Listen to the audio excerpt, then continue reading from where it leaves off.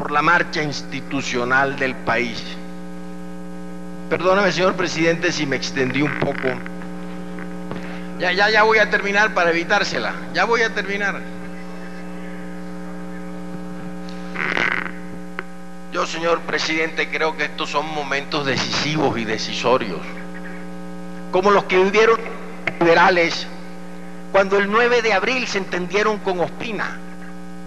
Por allí sonaba la metralla cuando se asesinó a Gaitán y los jefes liberales, los más calificados jefes liberales, se entendieron con el presidente Ospina y se reformó el gobierno de unión nacional.